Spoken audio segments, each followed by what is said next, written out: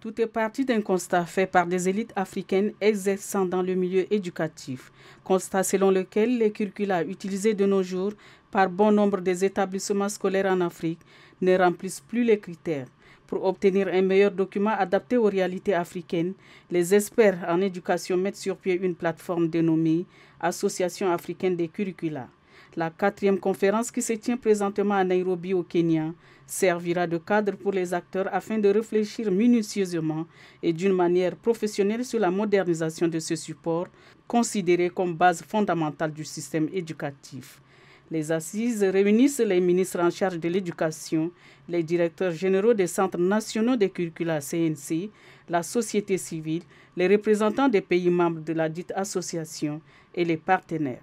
Le Tchad, en voie de la réforme de son système éducatif, est représenté par les responsables du Centre national des curricula. Ceux-ci viennent non seulement bénéficier des expériences de leurs collègues, mais également partager leur savoir-faire. Pour l'accueil des invités, le pays hôte donne le coup d'envoi par une chorale.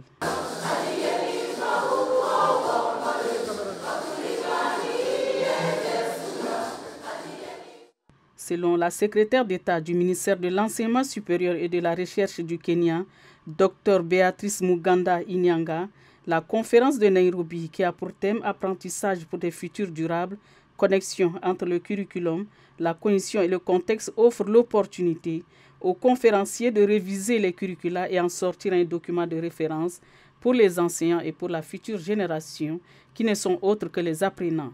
Les différents intervenants ont vu la nécessité pour l'Afrique de parvenir à l'alignement du programme scolaire, à la formation des enseignants, à l'intégration des TIC, à l'innovation dans le processus d'apprentissage et à l'évaluation des élèves.